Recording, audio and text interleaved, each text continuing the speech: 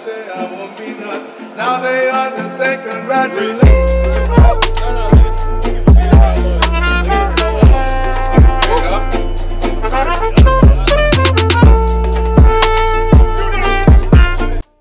Hey guys, it's Nyra. Welcome to my channel, or welcome. That was some serious jazz hands just now.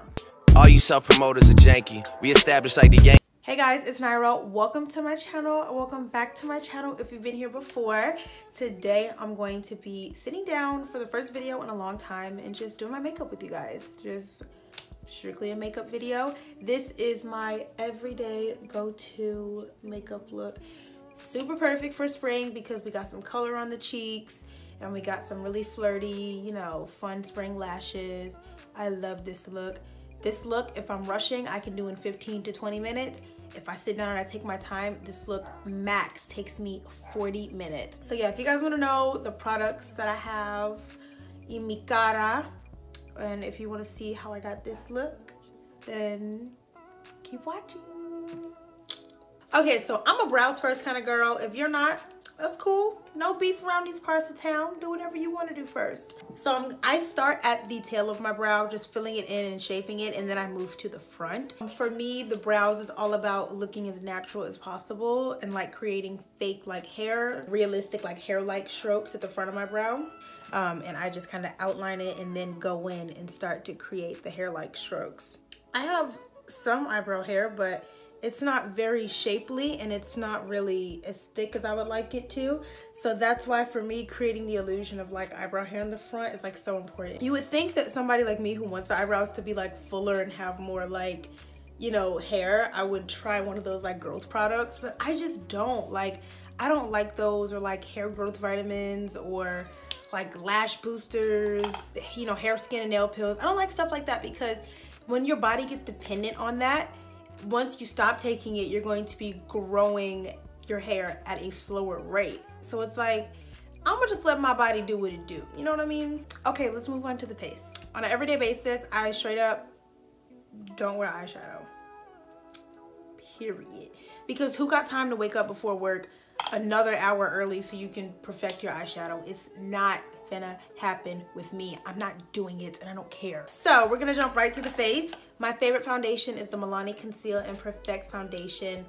I've run out of this like four times and I just keep replacing it. I haven't tried another foundation in months because I'm obsessed with this and I'm like, if it ain't broke, don't fix it. So let me know down below what your favorite foundations are because Lord knows I'm I need to like get a life and move on. For me, this foundation is like the ex you just can't get over You just can't get over them. They have too many good qualities. You know there's more out there, but it's like, but look at what this one does for me.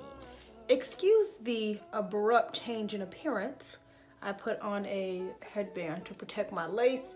If you know how wigs, then if you know, if you wear wigs, and you already know how that goes. Unpopular opinion, but highlighting is the most important part of the makeup, really.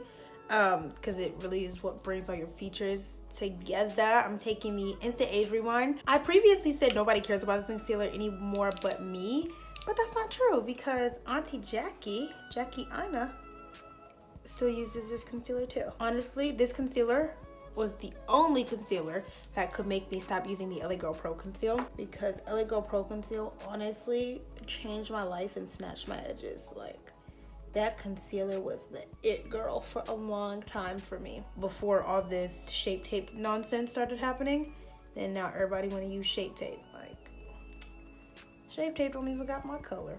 And if they got my color they don't have my undertone. But that's tea for another video while i'm concealing everything else anyway this is usually the point where i go ahead and like clean up under my brows with the same concealer um, this is important to me at least. I just feel like this really pulls your brows together.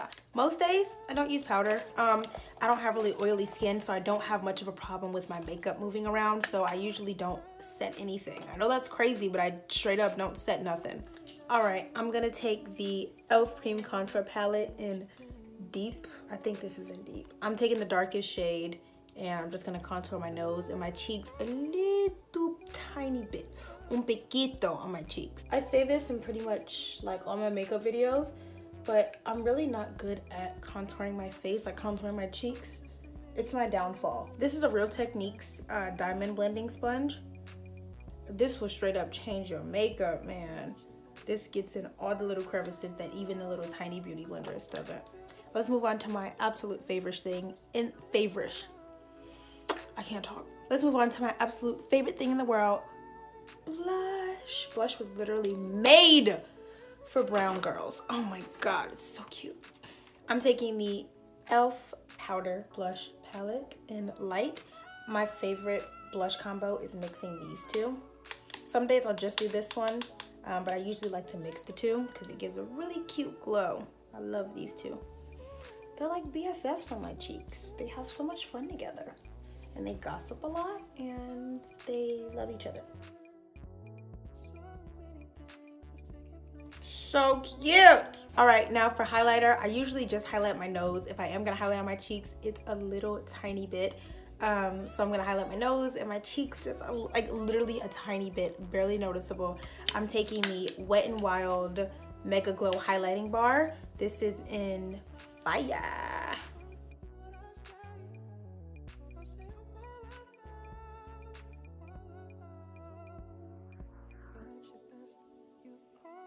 And lastly, lips is the easiest combo in the world or like dark pinkish brownish nude and I overline my lips a little and then I kind of like fill them in. You guys will like see what I mean. I kind of just like fill in like the like the cracks like like the the shape of my lips and then I'll put on a little bit of gloss. Um, this is kind of newer to my routine. I used to just overline with gloss but I've started doing this the last few days and I absolutely love it. All right, and if you're thinking, how could this look get any prettier? Lashes. I'm gonna put my lashes on off camera and I'll be back so y'all can see what all this drip looks like.